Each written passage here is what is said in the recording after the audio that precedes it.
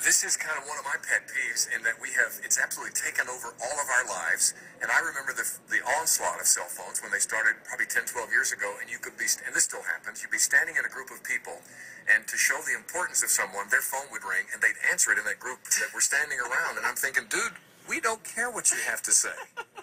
I know it's a call from the president. I know you're important. But just not to excuse yourself and say, "Excuse me, I need to take this." Right. That just and it just goes from there. What's- Colleen, I'm gonna, I'm not going to talk the whole time.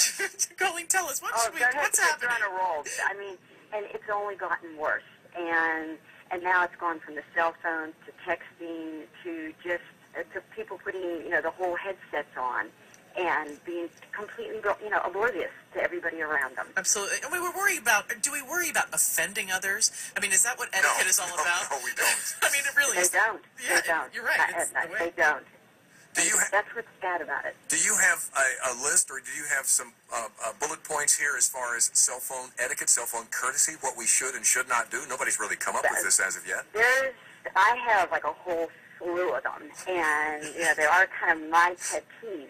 But when you tell people about them, you know, because I do speeches about them, and I, you know, I, I mean, th- let me let me tell you the first thing though. Be very, very, very, very careful about going up to a stranger and telling them, especially if you're with children, and maybe they're very, they're not using words that they should be using when there's other people around them. It doesn't even have to be children. Don't go up and say, excuse me, but could you please lower your voice because you're speaking very loud? Or could you please change the words that you're using because it's not the words I want my children to hear? Or in a movie theater, could you please turn off your phones because you're, you know, the lights on and you're talking or trying to listen to that? That can be dangerous. Well- if you're in church, you know, or in a funeral, it's a funeral. Go to somebody else. Go to a manager. Go to somebody that's in charge. Because if you go up to somebody, they're not going to listen to you, and all it's going to it could it could actually go into Well, we've had a, a fight we've had or yeah, Yeah. exactly. And and so don't do that. And the other thing, so just go to somebody that's in charge. So don't go to somebody actually, you know, because it could, it could it's very violent. Have the, uh, have the electronics taken over our world? I mean, it seems like you know I'm standing in the ba- I, I stand in the bathroom at the at the wall unit there, and there's some guys next to you saying, "Oh yeah, man, we're going to go play 36 tomorrow. Yeah, we'll meet you about now." And I'm thinking, Or the worst, they're doing a business conversation. Yes. They are handling a proposal in there. While they're and sitting my on the job. woman, I constantly flush. I will constantly flush because I'm hoping I'll interrupt her. I do. I mean, that's terrible. I know I shouldn't probably tell people that, but that's terrible.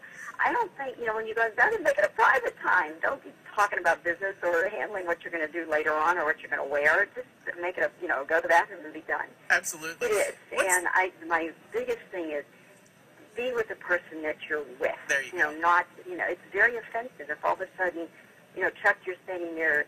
What's the message you're sending to Freddie or the person that you're with? that's, you're not the interested person in you're them. Talking Yeah. to, exactly. Yeah. But the person you're talking to on the phone is more important than the person you're sitting to it, you know, or sitting with at that table or the crowd that you're with. The person that you're on the phone with or texting is much more important to you. How about getting in a fight with somebody on the telephone? Or yeah, or discussing you know something that should not be discussed in front of somebody else that's on the phone.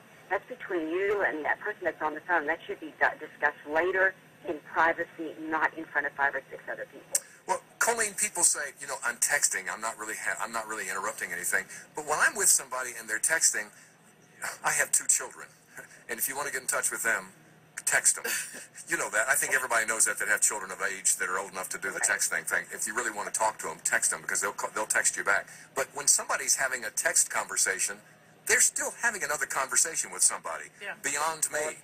And I'm one of these people that I kind of want your attention. I, I want to I want to see your eyebrows going up and down. I want to see your eyes coming a little bit smaller, bigger, and what I want to see the expressions on your face. I want to see the Right. emotions that are coming in, Exactly. and not having But another. You took the time. Yes, You took the time. You took the time off work. You took the time out your Saturday, your Sunday, whatever it may be. You took the time. You drove wherever you might be, whatever it is. You took the time out of your day to be with them. And all they're doing is saying, well, you know, so be it.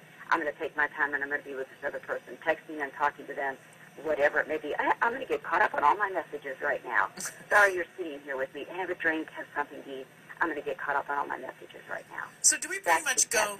We go back to like our general manners of talking to people, looking them in the eye, making sure you're responding properly. Is that going to be what we need to focus on in this age of the cell phone where we're completely consumed with our own private little box?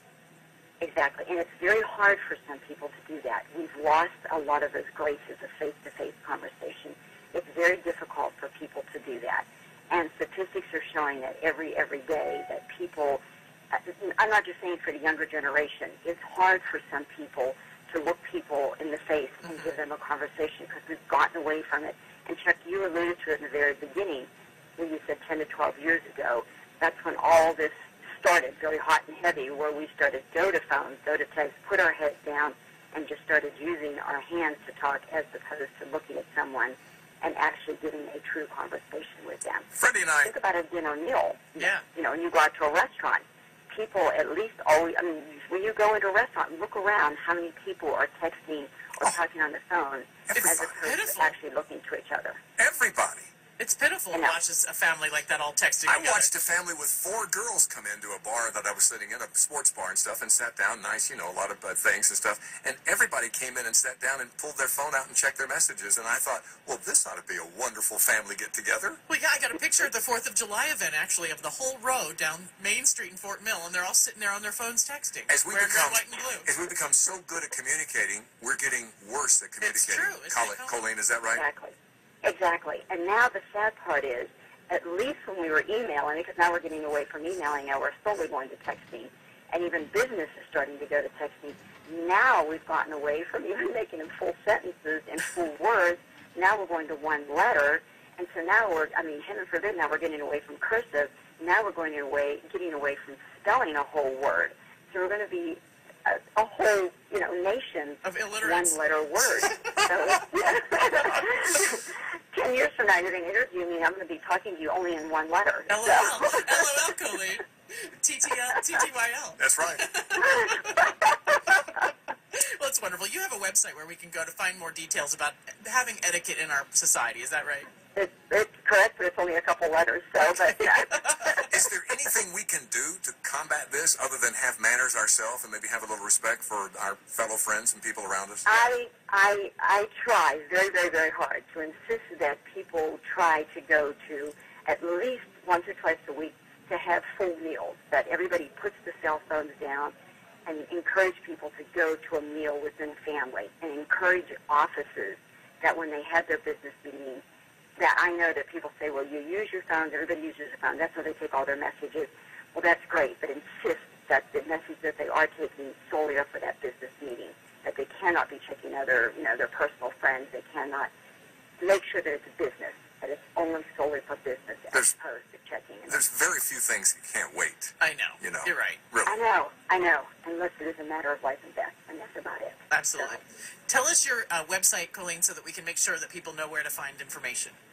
It's ColleenRickenbacher.com or CRSpeaks.com.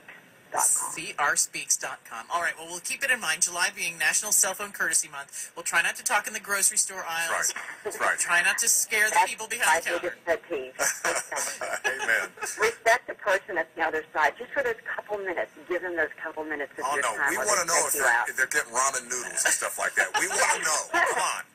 For sure. Thank you so much this morning, Colleen Rickenbacher. Take care and have a great day. You too. Thank you so much. She's in Dallas this morning. Yeah, that's right.